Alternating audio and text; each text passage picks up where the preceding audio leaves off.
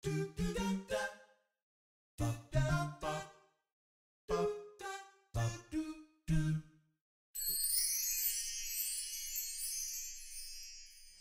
さんこんにちは。本日のピット直送ムービー担当の鈴木優香です。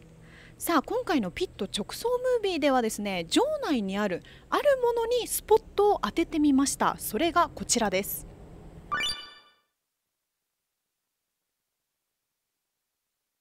はいそのあるものとは今ご覧いただいた液晶モニターなんですね。場内にあるんですけれどもこちらではさまざまな情報などを流しているんですけれどもそれと別に今回出場している選手の皆さんがですね意気込みを書いたボードを持って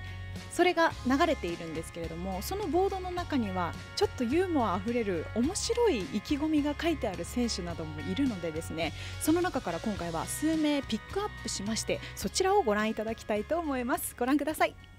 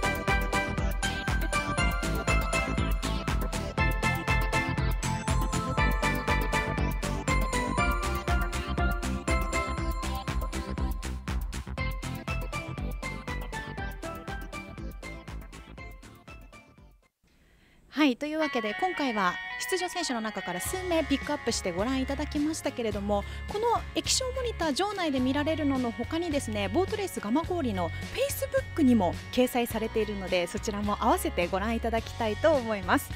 ということで今日はシリーズ5日目ということで第9レースからは準優勝戦が行われますので今日も1日ボートレース蒲郡にご期待ください。